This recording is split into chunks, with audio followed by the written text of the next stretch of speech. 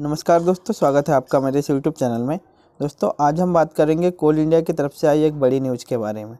अभी कोल इंडिया के सेक्रेटरी ने बताया कि कोल इंडिया ने पिछले साल जो है 6.6 बिलियन टन कोयले का रिज़र्व अपने रिज़र्व में शामिल किया है। फ्रेंड्स, ये जो रिज़र्व है, वो एक्सप्लोरेशन के माध्यम से मिला है। एक्सप्लोरेशन मीन्स सर्वे जैसा कि आप न्यूज़ में देख सकते हैं। इकोनॉमिक्स टाइम्स की यह रिपोर्ट है। Economics coal reserve need to be identify faster coal India secretary to coal India exploration arm coal India के सेक्रेटरी ने बताया कि कोल इंडिया ने एक्सप्लोरेशन के माध्यम से अभी 6.6 बिलियन टन कोयले का जो रिज़र्व है, वो अपने रिज़र्व में शामिल किया है। फ्रेंड्स आपको बता दें कि भारत में जो कोयले का रिज़र्व है, लगभग 320 बिलियन टन कोयले का रिज़र्व भारत में शामिल है। जिसमें भारत में जो कोयले का रिज़र्व है, जिसमें से सबसे ज़्यादा आपको देखने को मिलेगा फ्रेंड्स छत्तीसगढ़ में, झारखंड में उड़ीसा, मध्य प्रदेश, महाराष्ट्र, यहाँ पर जो है कोयले का रिज़र्व सबसे ज़्यादा है और भारत में जो कोयला पाया जाता है वो बिटुमिनस क्वालिटी का कोल होता है फ्रेंड्स। इन्होंने एक्सप्लोरेशन मतलब सर्वे के माध्यम से बताया कि 145 गीगावाट की बिजली अगले अगले जो 10 साल हैं उसमें बनाई जा सकती है, इतना कोयला हमें मिल चुका है। 6.6 बिलियन टन का जो कोयले का रिज़र्व है वो इनको मिला, जिसमें जो है इन्होंने अपने माध्यम में शामिल किया है।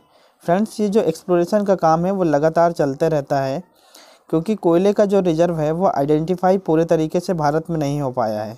फ्रेंड्स आपको बता दें कि सबसे ज़्यादा महँगी जो एक्सप्लोरेशन का काम होता है, वो होता है महँगा काम सर्वे का काम, जिसमें आपको सर्वे के माध्यम से पता करना होता है। या ये जो कंपनियाँ हैं, वो आपको इंटरनेशनल लेवल की कंपनी देखने को मिलेगी फ्रेंड्स इसमें जो है इंटरनेशनल लेवल की कंपनी रहती है, वो कोयले या गैस या कोई भी प्रकार का जो मिनरल्स है, उसको आइडेंटिफाई करती है। जैसा कि आप न्यूज़ में देख सकते हैं, इन्होंने बताया कि कोल इंडिया के सेक्रेटरी जो अनिल कुमार जैन हैं, इन्होंने बताया कि कोल इंडिया ने न्यू एरिए को एडिशन में जोड़ा है, जिसके माध्यम से इन्हें इकोनॉमिक दृष्टि से फ़ायदा होगा। अभी C M P D I L coal mining plan design institute है। इन्होंने भी जो है, अपना सर्वे का काम किया है, जिसका हेडक्वार्टर है, वो आपको रांची में देखने को मिलेगा।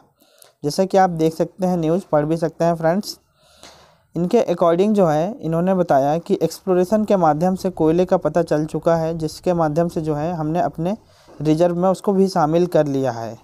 और जो हमारे C M P D I के चेयरमैन हैं, शेखर सरन, उन्होंने बताया है कि कोल इंडिया ने जो है, अभी टू डी एवं थ्री डी सेस्मिक सर्वे के माध्यम से ये जो नई टेक्नोलॉजी है मतलब कि वहाँ पर किस प्रकार की टेक्नोलॉजी यूज़ की जाएगी उस कोयले को निकालने में उसका काम बहुत ही तेज़ी से किया है, जिसमें आपको जो है कोल और लिग्नाइट, जो लिग्नाइट आपको कोयले का एक प्रकार होता है, वो आपको देखने को मिलेगा। इसमें जो है कोल और लिग्नाइट में एक्सप्लोरेशन का काम किया है, जिसमें बहुत ही तेज़ी से शॉर्टर एरिया हमको पता चल पाए हैं कि कम से कम हम कितना कोयला उसमें से निकाल सकते हैं। इन्होंने बताया कि सेस्मिक सर्वे एक्सप्लोरेशन जो है, वो इंडिया का है, जिसके माध्यम से इंडियन कोल और लिग्नाइट को हमने आइडेंटिफाई किया है कि किस प्रकार का जो कोल है, वो आपको निकालना है और किस प्रकार की टेक्नोलॉजी वहाँ पर यूज़ की जानी है।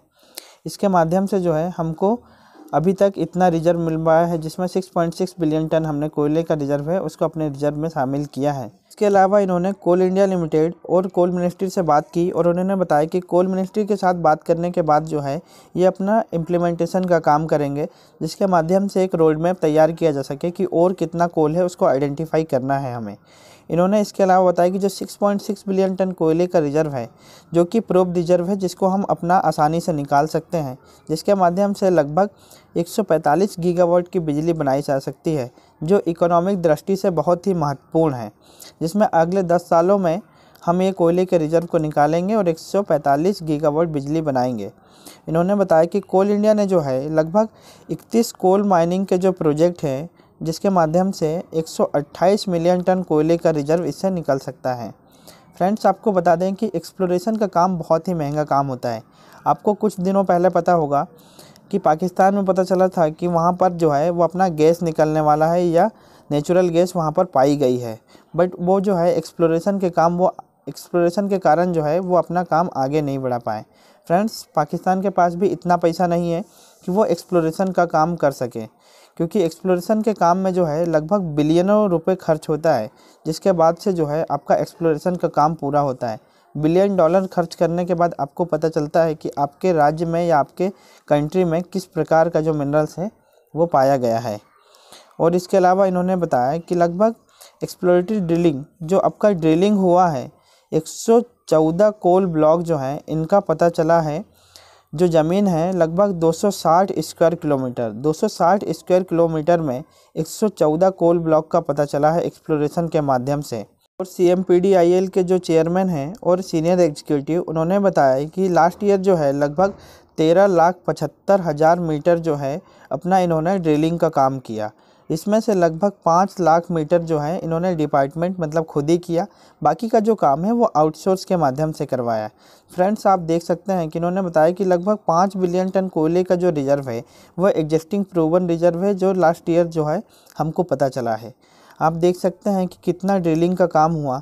तेरह लाख पचहत्तर हज़ार मीटर लगभग ड्रिलिंग का काम किया, जिसके माध्यम से पाँच लाख जो है, इन्होंने खुद किया, पाँच लाख मीटर तक का।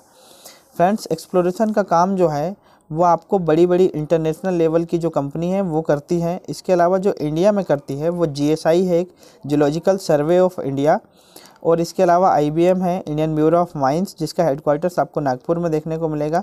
और जो कोल इंडिया लिमिटेड की एक ही सब्सिडरी है, वो है C M Coal Mining Planning Design Institute जो है, ये आपका एक्सप्लोरेशन का काम करता है।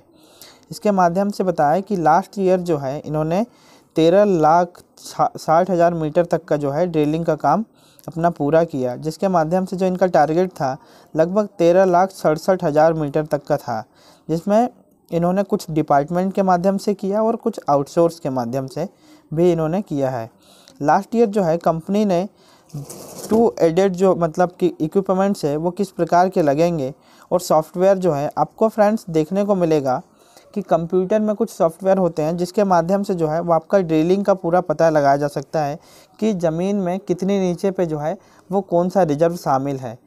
कोयला, पत्थर, पीतल, तांबा, सोना, चांदी, ये जो है आपको सॉफ्टवेयर के माध्यम से भी मिलेगा। ये जो सॉफ्टवेयर है वो आपको कंप्यूटर में देखने को मिलेगा। कंप्यूटर के सॉफ्टवेयर जो है आपका ड्रिलिंग के साथ ही काम करते हैं कि उसमें किस प्रकार का वहाँ पर कोयला रिज़र्व है या किसी भी रिज़र्व को देखने के लिए वो अपना पता लगा सकते हैं। इन्होंने बताया कि इंडियन कोल माइंस जो है, लगभग 300 मीटर से लेकर 600 मीटर तक में शामिल है। जो आपका डेप्थ की बात कर रहे हैं हम, डेप्थ जो है आपको 300 मीटर से 600 मीटर तक में आपको कोल रिज़र्व देखने को मिलेगा इंडिया में। इसके अलावा इन्होंने बताया कि लास्ट ईयर जो है, लगभग ट्रक माउंटेड सिस्टम के माध्यम से जो है, इन्होंने ट्रक माउंटेड सिस्टम के माध्यम से ये सब कोयले का पता लगाया। 800 मीटर तक का जो डिपॉजिट है, वो पता लगा जहाँ तक कि आप जा सकते हैं। माइनर जो है, वो आपका 800 मीटर तक हद से ज़्यादा पहुँच सकता है, जिसमें इन्होंने पता लगाया कि एक बिलियन टन कोयले का जो रिज़र्व है, वो आपका प्रूवन रिज़र्व के माध्यम से पता चला। ये जो कंपनी है, C M P D I L, Coal Mining Planning Design Institute, इन्होंने लास्ट फाइव ईयर्स में इतना कोयले का पता लगाया है। 2012 से लेकर 2018 तक के बीच में एक अड़तालीस दशमलव आठ बिलियन टन कोयले का जो रिज़र्व है, वो इनको मिला है। जिसमें जो है, इन्होंने डिसाइड किया है कि किस प्रकार की जो कंपनी है मतलब जो मशीन है, वो एडॉप्ट करेगी कंपनी और किस माध्यम से जो है, आपका वो कोयला ही निकालना है। फ्रेंड्स, आपको बता दें कि कुछ कोयला जो है, वो आपको मशीन ना मिलने के कारण भी नहीं निकल पाता है, क्योंकि वो सेम थिकनेस कम होती है। तो फ्रेंड्स, आज के वीडियो में बस इतना ही।